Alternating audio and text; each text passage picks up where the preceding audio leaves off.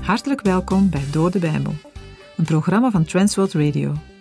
Met dit programma nemen we jou in vijf jaar tijd mee door de ganse Bijbel.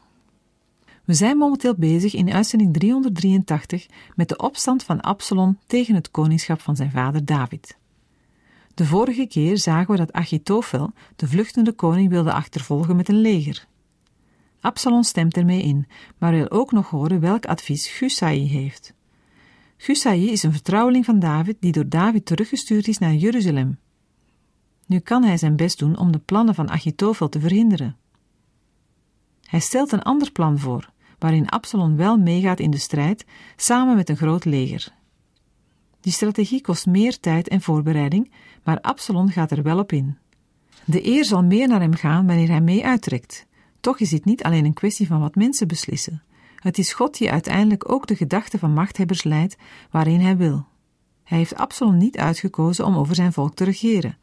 David is de man naar zijn hart en die zal dan ook weer op de troon in Jeruzalem zitten. Terwijl het leger van Absalom zich klaarmaakt, trekt David met zijn volgelingen verder. In Machanaim komen enkele rijke mannen bij David. Ze nemen bedden mee, schalen en allerlei eten. Deze mensen zijn niet zomaar tot steun voor de vervolgde koning en degene die met hem wegtrekken. Ze staan achter hem en denken ook na over wat ze kunnen doen om hem te helpen. Ze realiseren zich dat het volk vermoeid en hongerig moet zijn en bieden praktische hulp. Daarna stelt David een leger samen. Hij verdeelt de groepen uiteindelijk onder drie aanvoerders. Een van hen is Joab, Davids trouwe aanvoerder. David bindt hen op het hart om Absalom genadig te behandelen. Hij heeft een zwak voor deze zoon, ook al zijn zijn daden nog zo verkeerd. De strijd is zwaar. Er sneuvelen duizenden Israëlieten. Uiteindelijk komt Absalom om. Hij blijft met zijn haar in een boom hangen en wordt op bevel van Joab gedood. David trekt zich terug met zijn verdriet als hij het hoort.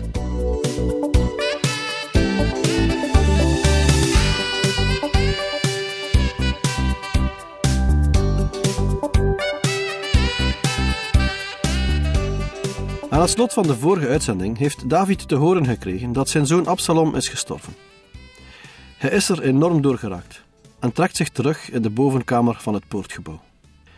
2 Samuel 19 versen 1 en 2 Aan Joab werd vertaald: Zie, de koning huilt en bedrijft rouw over Absalom. Op die dag veranderde voor heel het volk de verlossing in rouw, want het volk had op die dag horen zeggen: De koning is bedroefd over zijn zoon. Het kwam Joab al snel ter oren dat de koning huilde en rouwde om zijn zoon Absalom. Toen het volk hoorde van het verdriet van de koning om zijn zoon, verdween de blijdschap om de prachtige overwinning van die dag en maakte plaats voor droefheid. Het had nogthans een grote dag van vreugde en overwinning moeten zijn. De vijand was verslagen. Maar voor David was het geen dag van vreugde en overwinning. Voor hem was het tegenovergestelde: diepe rouw en verlies. 2 Samuel 19, vers 3. Het volk kwam die dag sluipend de stad binnen, zoals een volk dat beschaamd is als het in de strijd gevlucht is, zich sluipend voortbeweegt. De houding van David verandert ook de vreugde over de overwinning voor zijn manschappen. De manschappen komen daarom niet als overwinnaars de stad binnen, maar sluipend door de poort. Hun binnenkomst doet denken aan soldaten die zich schamen, alsof ze van het slagveld zijn gevlucht. Het moet een verwarrende situatie zijn geweest voor een leger dat net de overwinning heeft behaald. 2 Samuel 19, vers 4. De koning had zijn gezicht bedekt, en de koning riep met luide stem: Mijn zoon Absalom, Absalom, mijn zoon, mijn zoon.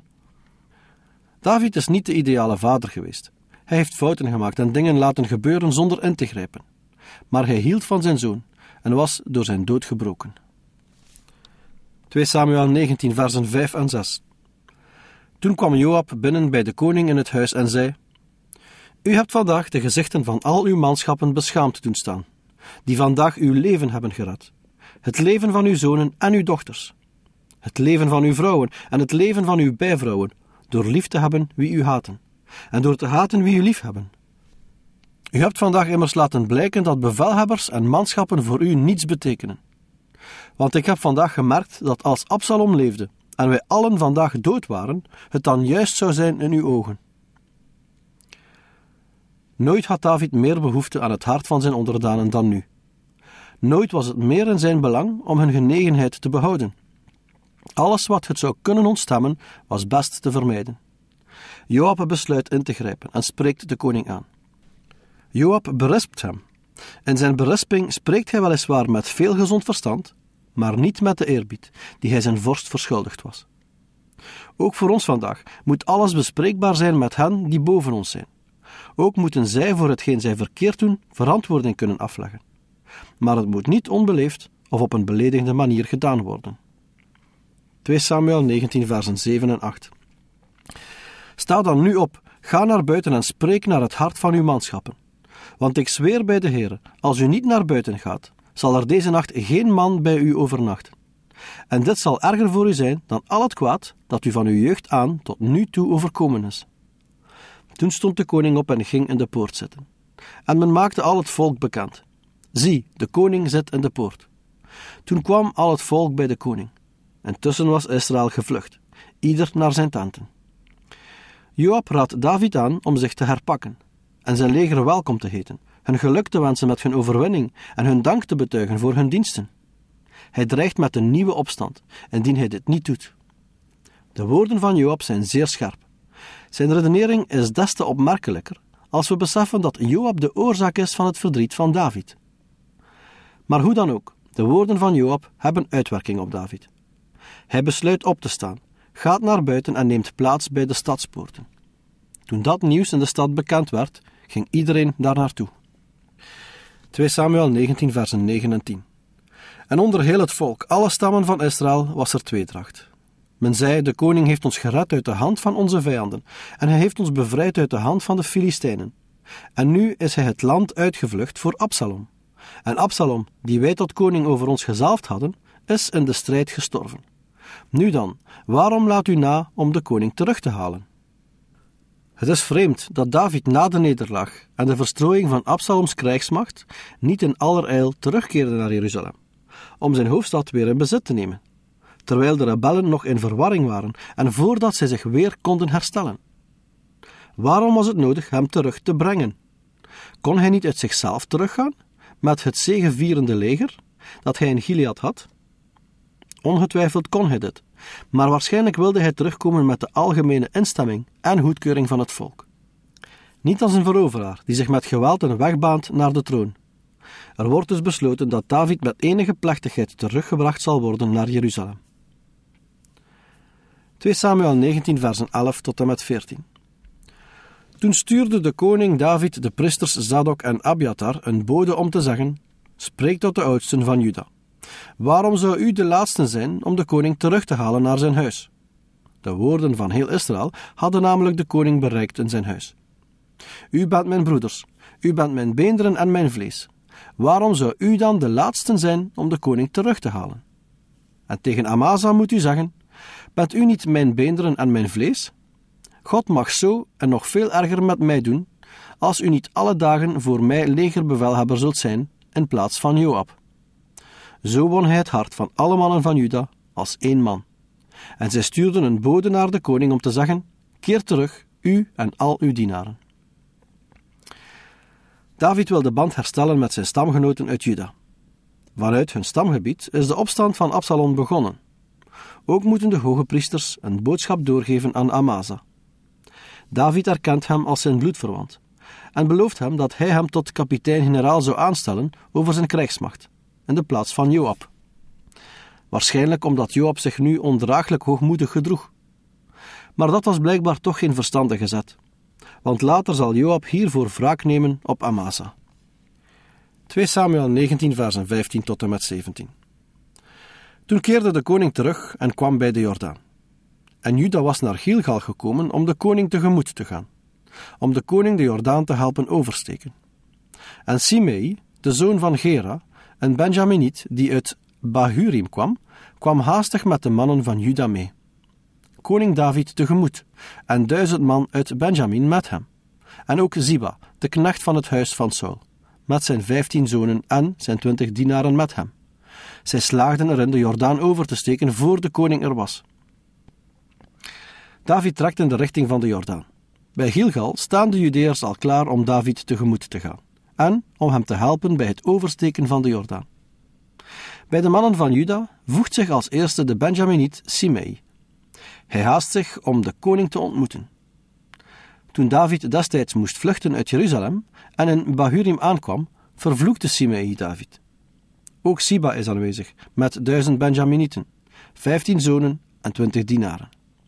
Ziba was degene die tijdens de vlucht van David het beheer over de goederen van Mephibosheth, de zoon van Jonathan, had gekregen. 2 Samuel 19, versen 18 tot en met 23. Toen de pont overvoer om het koningshuis te laten oversteken en om te doen wat goed was in zijn ogen, viel Simei, de zoon van Gera, voor de koning neer, terwijl deze de Jordaan overstak. Hij zei tegen de koning: Laat mijn heer mij mijn misdaad niet toerekenen en niet denken aan hoe uw dienaar zich misdragen heeft op de dag waarop mijn heer de koning uit Jeruzalem vertrok. Laat de koning het niet ter harte nemen, want uw dienaar weet het zeker. Ik heb gezondigd. Maar zie, ik ben vandaag als eerste van het hele huis van Jozef gekomen om mijn heer de koning tegemoet te gaan. Toen antwoordde Abizai, de zoon van Zeruja, en zei: Zou Simei hiervoor niet gedood worden? Hij heeft immers de gezalfde van de Heere vervloekt. Maar David zei: wat heb ik met u te maken, zonen van Zeruja, dat u mij vandaag tot tegenstander bent? Zou er vandaag iemand in Israël gedood worden? Immers, weet ik niet dat ik vandaag weer koning geworden ben over Israël? De koning zei tegen Simei: U zult niet sterven. En de koning zwoer het hem. Simei wil de eerste zijn om de koning te verwelkomen. Simei verbloemt zijn eerder gedrag niet, want hij doet een schuldbeleidenis. Net als bij de vlucht uit Jeruzalem wil Abizai, de broer van Joab en de zoon van Zeruja, Simei doden, omdat Simei de gezalfde van de Heer heeft vervloekt.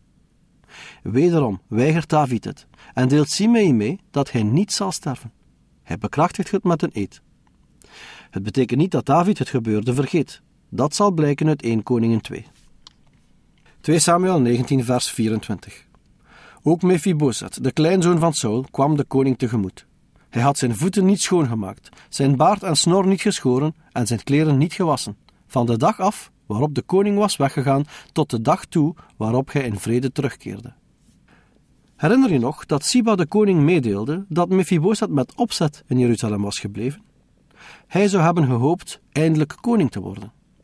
Mephibosheth verloor toen door de beschuldiging van Ziba zijn bezittingen. 2 Samuel 19 versen 25 tot en met 28 en het gebeurde, toen hij in Jeruzalem de koning tegemoet kwam, dat de koning tegen hem zei: Waarom bent u niet met mij meegegaan, Mephibosheth? En hij zei: Mijn heer koning, mijn dienaar heeft mij bedrogen, want uw dienaar zei: Ik zal een ezel voor mij zadelen, en daarop rijden en naar de koning trekken. Uw dienaar is immers kreupel. Bovendien heeft hij uw dienaar bij mijn heer de koning belasterd. Mijn heer de koning is echter als een engel van God. Doe maar wat goed is in uw ogen. Heel het huis van mijn vader was immers bij mijn heer de koning ten dode opgeschreven. Toch hebt u uw dienaar geplaatst bij hen die aan uw tafel eten. Wat voor recht heb ik dan nog? En hoe kan ik dan nog een beroep doen op de koning? Het is duidelijk dat de knecht Ziba is, de man aan wie David alle goederen van Mephibosheth had geschonken. Laaghartig had hij geprobeerd zijn eigen voordeel te doen met de hulpeloosheid van Mephibosheth. 2 Samuel 19, versen 29 en 30. Toen zei de koning tegen hem: Waarom spreekt u nog langer over uw zaken? Ik zeg u, u en Ziba, u moet het land delen. En Mephibosheth zei tegen de koning: Hij mag ook alles wel nemen, omdat mijn heer de koning in vrede in zijn huis is gekomen. Zodoende is Mephibosheth terug waar hij geweest is. Maar Ziba blijft ongestraft voor zijn leugenachtige, boosaardige aanklacht tegen zijn meester. David heeft met Siba niet gedaan wat volgens de wet in Deuteronomium voorgeschreven staat. Waarschijnlijk wilde hij op dat moment alleen maar rust en vrede. Het kan bij ons ook voorkomen dat we soms geen zin meer hebben om ergens tegen in te gaan en alleen rust en vrede willen. Maar Mephibosheth zegt dat Siba alles wel mag houden. Hij is vooral blij over het feit dat de koning gezond en wel is teruggekeerd naar Jeruzalem. De woorden bewijzen de oprechtheid van Mephibosheth. De derde persoon die naar David toekomt, vinden we in de versen 31 tot en met 37. Het is Barzilai. Hij behoorde tot degenen die David proviand kwam brengen toen hij in Mahanaim was aangekomen. Nu komt hij naar David om hem te begeleiden bij zijn overtocht over de Jordaan. De koning vraagt Barzilai met hem mee te gaan naar de overkant. Wanneer hij dat doet, zal David hem in Jeruzalem verzorgen. Barzilai wijst erop dat hij al tachtig jaar is en vraagt of hij mag terugkeren om te sterven in zijn eigen stad, bij het graf van zijn vader en moeder. Hij stelt voor om Gimgam met de koning mee te laten gaan.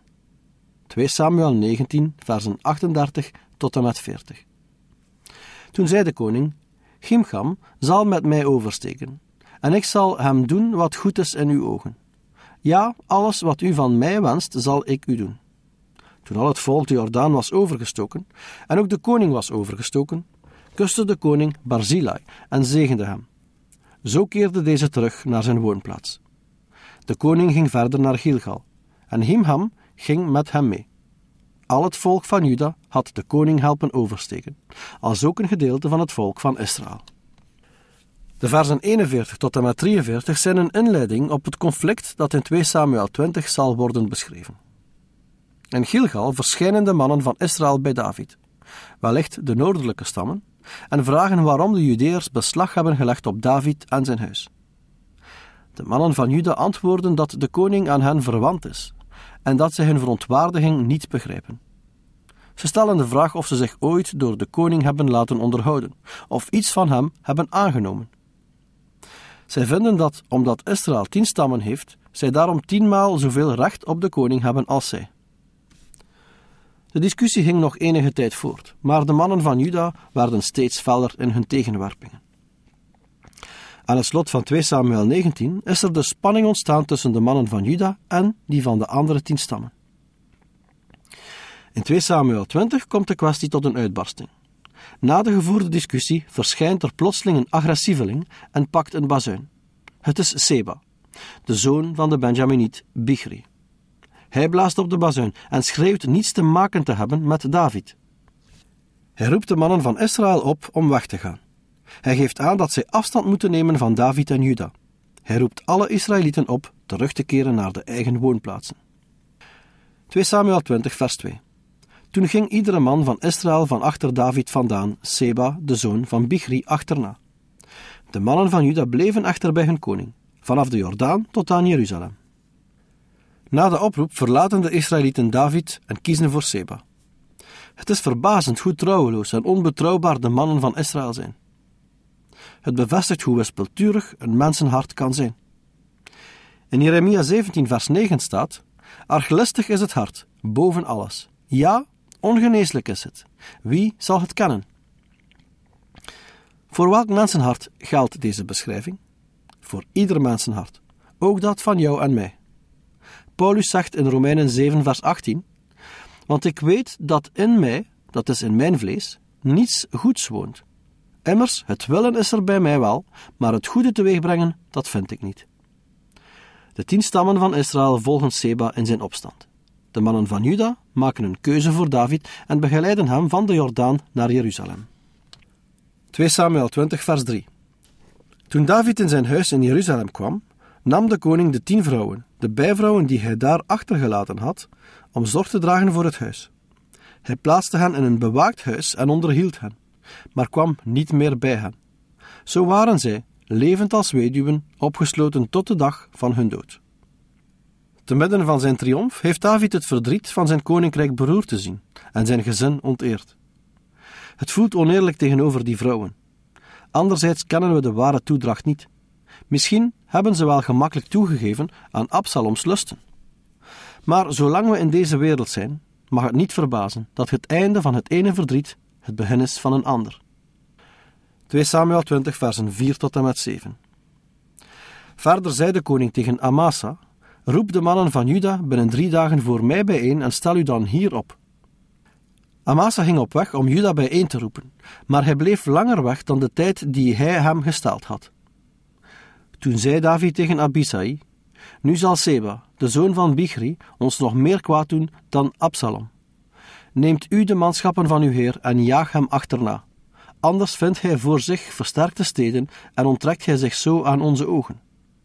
Toen trokken de mannen van Joab erop uit hem achterna, met de Kreti en de Pleti en al de helden. Zij vertrokken uit Jeruzalem om Seba, de zoon van Bichri, achterna te jagen. Met het oog op het gevaar dat van de zijde van Seba dreigt, geeft David Amasa, zijn nieuwe legeraanvoerder, opdracht de mannen van Juda samen te roepen. Amasa krijgt drie dagen en dan moet hij met zijn manschappen voor David verschijnen. Maar hij komt niet op het afgesproken tijdstip terug. Aangezien de tijd dringt, richt David het woord tot Abisai, de broer van Joab. En Abisai deelt de koning mee dat Seba op dit moment een groter gevaar kan vormen dan Absalom. Daarom moet hij met de dienaren van David de achtervolging inzetten.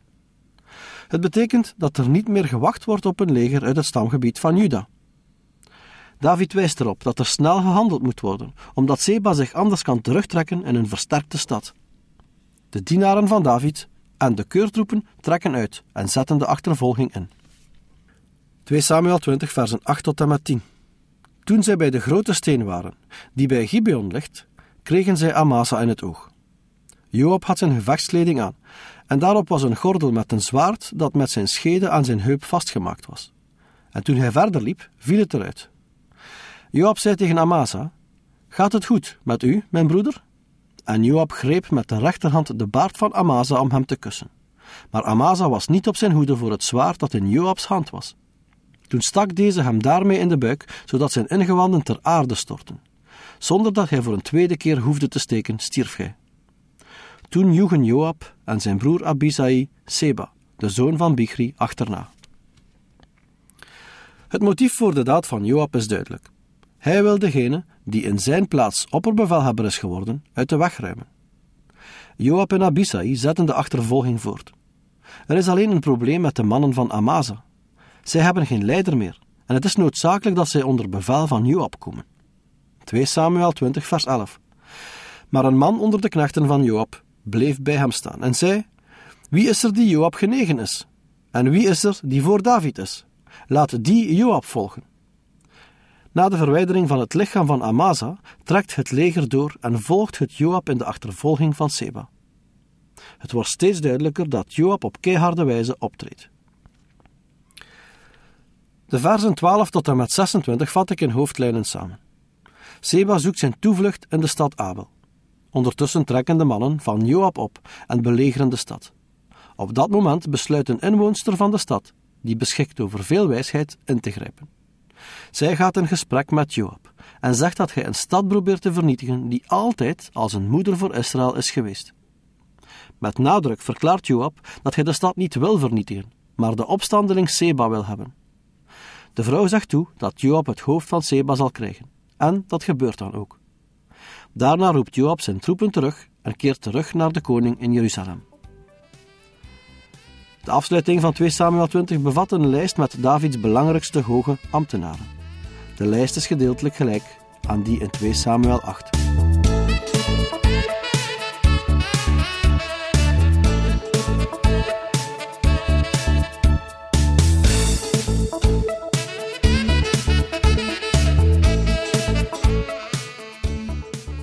Heeft geluisterd naar Door de Bijbel, een programma waarin we in vijf jaar tijd de ganse Bijbel bespreken. De basis voor het programma is de Bijbelstudiereeks van Dr. Vernon McGee, Through the Bible. Deze werd in het Vlaams vertaald en bewerkt door Transworld Radio. U kan elke werkdag naar een nieuwe uitzending luisteren en u kan ook steeds voorbije uitzendingen opnieuw beluisteren of downloaden. Als u wilt reageren op deze uitzending of u heeft vragen, dan kunt u uiteraard contact met ons opnemen. U kan een e-mail sturen naar doordebijbel.twr.be. Verder kan u op onze site terecht, www.twr.be, voor meer info en het beluisteren van onze overige programma's. Dit programma werd gepresenteerd door Patrick Couchement en Anne Notenboom. Wij danken u voor het luisteren en graag tot een volgende keer.